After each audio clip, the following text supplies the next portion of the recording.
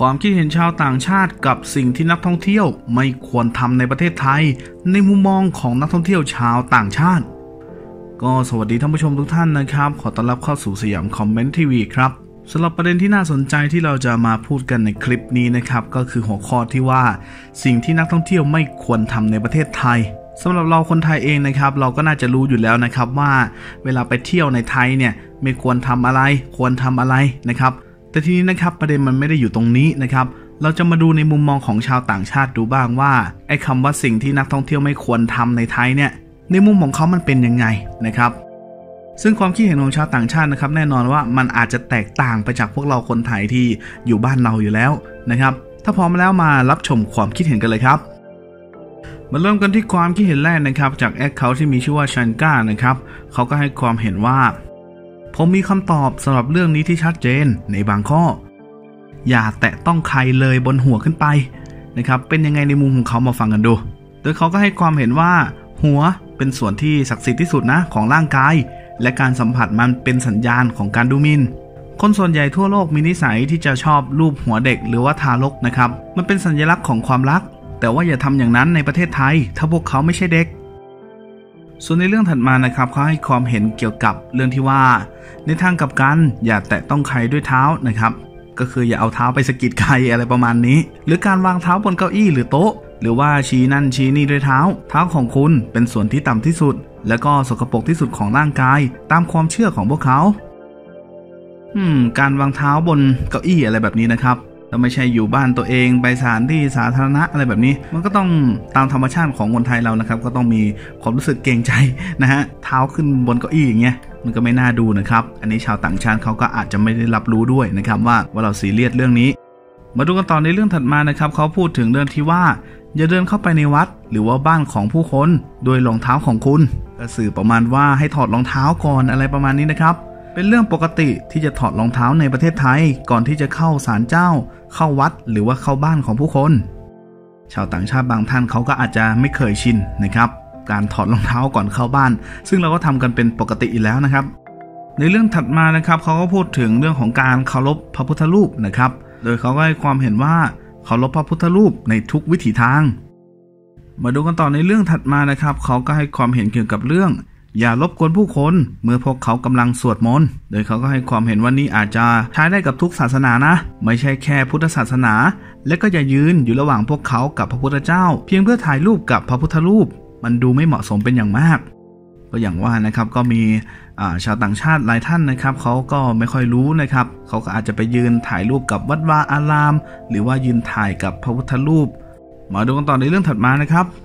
อย่าพยายามถ่ายรูปภายในบาร์เพราะผลที่ตามมาอาจจะโหดร้าย ก็ไม่รู้ว่าความหมายเป็นยังไงนะครับ ก็ให้ความเห็นมาซะตรงๆอย่างนี้ เรื่องถัดมานะครับเขาบอกว่า อย่าวิพากษ์วิจารณ์เกี่ยวกับเรื่องระบบราคาคู่ ระบบราคาคู่ของเขาเป็นยังไงมาดูความหมายกันครับ คือเขาหมายถึงนะครับราคาหนึ่งสำหรับชาวบ้านทั่วไปนะครับ คนไทยทั่วไป กับอีกราคาหนึ่งสำหรับชาวต่างชาติ คุณห้ามวิพากษ์วิจารณ์เรื่องนี้ โดยเจ้าของคอมเมนต์นี้นะครับเขาก็ให้ความเห็นว่านี่คือวิธีการทำงานของอ่าเอเชียตะวันออกเฉียงใต้ทั้งหมดเลย ประเทศรอบบ้านเราก็เป็นนะครับ ไม่ใช่แค่ในประเทศไทยเท่านั้น ผมก็นึกว่ามีแต่ในไทยซะอีกเนี่ยสองราคา ราคาชาวบ้านกับราคาชาวต่างชาติ เรื่องถัดมานะครับ อย่าสวมเสื้อผ้าขี้เหนียวนะเป็นยังไงเสื้อผ้าขี้เหนียวของเขา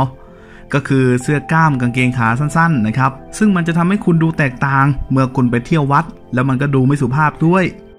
คุณควรจะแต่งตัวให้ดูสุภาพหากคุณต้องการเข้าวัด หรือแม้แต่พระบรมมหาราชวัง ในเรื่องถัดมานะครับก็เป็นเรื่องที่เราอาจจะคาดไม่ถึงนะครับ โดยเขาก็พูดถึงเรื่องอย่ารบกวนพระ หรือปิดกั้นการทำบุญของพวกเขาเขาหมายถึงอะไรมาดูกันนะครับ ก็ยกตัวอย่างนะ อย่างเช่นเรา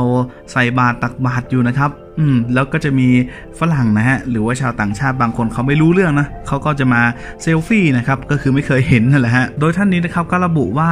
ก็อย่าไปเซลฟี่เลย โดยเฉพาะอย่างยิ่งเมื่อพวกเขาออกไปข้างนอกเพื่อทำบุญตักบาตรหรือว่าทำบุญพระในประเทศไทยถือเป็นตัวแทน หรือการแสดงออกของพระพุทธเจ้า และควรได้รับการเคารพสูงสุดนอกจากนี้คุณยังได้พบกับพื้นที่ที่พิเศษในสนามบินทุกแห่งในประเทศไทย ที่ระบุไว้ว่าสงวนไว้สำหรับพระสงฆ์ และเรื่องสุดท้ายของความคิดเห็นนี้นะครับเขาก็บอกว่า และโปรดอย่าขี่ช้างทำไมถึงว่าอย่างนั้นมาดูกัน โดยเขาก็ให้เหตุผลนะครับว่ามันจะทำให้พวกเขานะครับซึ่งคำว่าพวกเขานี่น่าจะหมายถึงช้างนะครับ มันจะทำให้พวกเขากลับมาพิการอย่างถาวร และทำให้พวกเขาเจ็บปวดมาก ในทำนองเดียวกัน ไม่สนับสนุนให้วัดมีเสือ เพียงเพื่อให้คุณได้เซลฟี่ โดยในความเห็นนี้นะครับ เขาบอกว่าเสือควรที่จะอยู่ในป่าไม่ได้อยู่ในวัด แต่จะถูกล่ามโซ่ และกินอาหารที่ผิดธรรมชาติไปตลอดชีวิต อันนี้ก็คือเขาให้ความเห็นในเชิงอนุรักษ์สัตว์ป่านะครับ ก็เป็นอีกมุมมองหนึ่งจากนั้นนะครับเขาก็พูดทิ้งท้ายไว้นะครับว่า และอื่นๆ บางอย่างอย่าทำในประเทศไทย ในขณะที่คุณเคยชินกับการทำในประเทศของตนเอง เพลิดเพลินไปกับการเดินทางของคุณ ฉันจะไปที่นั่นอีกครั้งใน 3 สัปดาห์ สิ่งที่กล่าวมาทั้งหมดด้วยความเชื่อและความรู้ของฉัน ฉันขอโทษทุกคนในที่นี้ก็หมายถึงชาวต่างชาติที่เข้ามาอ่านนะครับว่า กับผู้ที่เคยได้กระทำผิดไปแล้ว ขอให้โชคดี และปรับปรุงตัวเองใหม่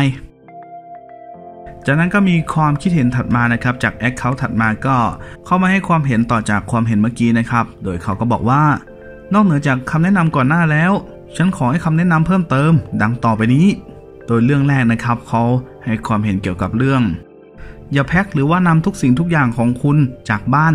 พกติดตัวในกระเป๋าเดินทางใบใหญ่ คุณสามารถซื้อสิ่งที่คุณต้องการในไทยได้ในราคาที่มันไม่แพงมากอย่างง่ายดายให้คุณพกกระเป๋าเดินทางใบเล็ก หรือว่ากระเป๋าที่วางครึ่งหนึ่งแล้วยังเหลือที่ว่างไว้ใส่สำหรับสิ่งที่คุณต้องการ บางทีมันอาจจะทำให้การซื้อสินค้าของคุณมันสะดวกยิ่งขึ้น มากกว่าที่จะเอากระเป๋าใบใหญ่ไป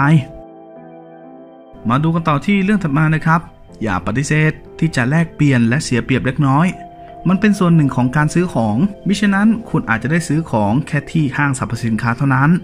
อันนี้ก็จะสื่อประมาณว่าก็ยอมเสียเปรียบเล็กน้อยนะ อาจจะมีอัพราคา มีอะไรบ้างนะครับ คุณก็จ่ายเขาไปเถอะอะไรประมาณนี้นะครับ ไม่เช่นนั้นคุณก็ต้องได้ซื้อของแค่แต่ในห้างที่แบบมีระบบเป็นการเป็นงานเท่านั้นนะครับ เรื่องถัดมานะครับเขาให้ความเห็นว่าอย่าเดินทางโดยรถไฟโดยไม่มีเสื้อโค้ทอุ่นๆ อืมหมายความว่าอย่างไรก็ตีความกันดูนะครับ เรื่องถัดมาครับเขาบอกว่าอย่ากลัวที่จะเรียนรู้ลองเรียนรู้ภาษาไทย และพยายามทำให้ตัวเองเข้าใจ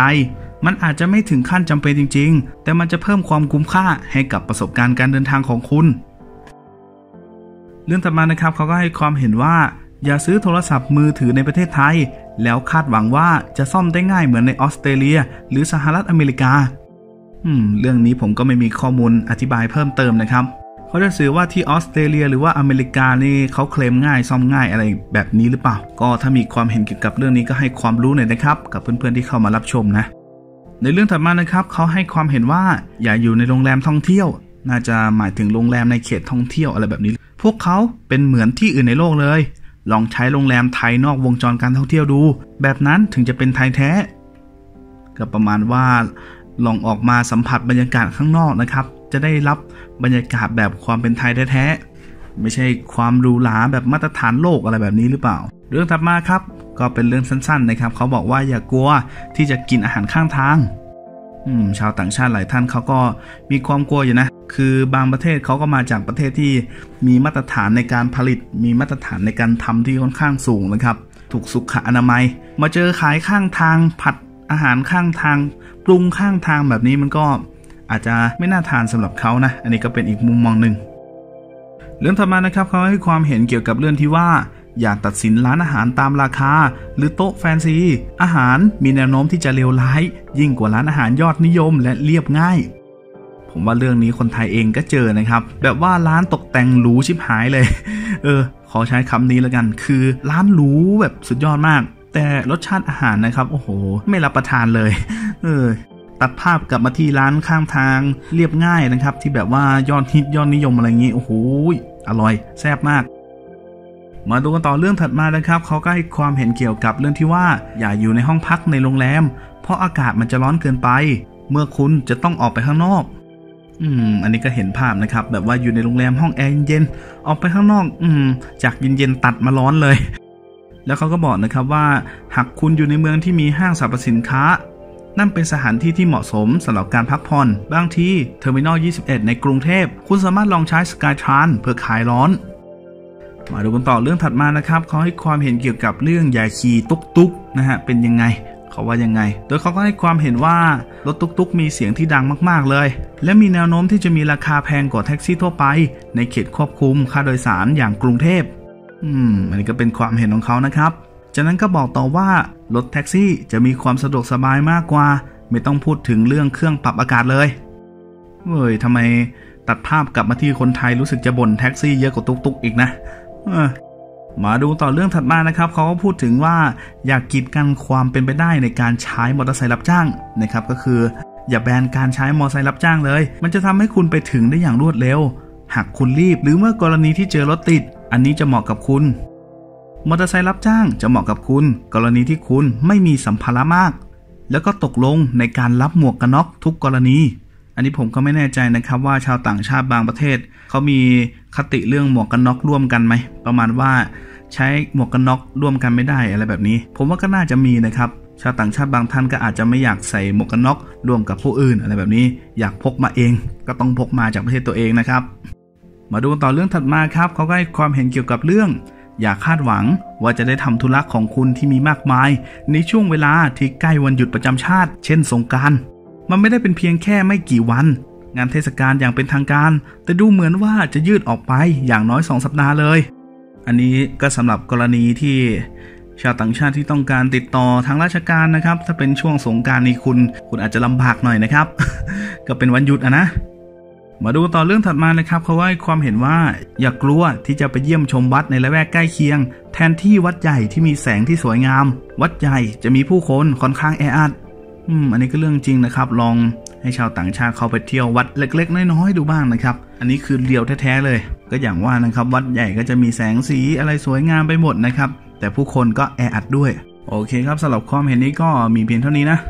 แล้วก็สำหรับเรื่องนี้นะครับ ก็ขอจบลงเพียงเท่านี้ก่อนแล้วกันนะครับ ก็ยังมีอีกหลายๆความเห็นมากมายเลยยังไงก็ฝากเพื่อนๆกดติดตามไว้ด้วยนะครับ ถ้าชอบการแปลสไตล์นี้ ก็อยากเชิญทุกคนนะครับ มารับฟังกันต่อในคลิปหน้านะ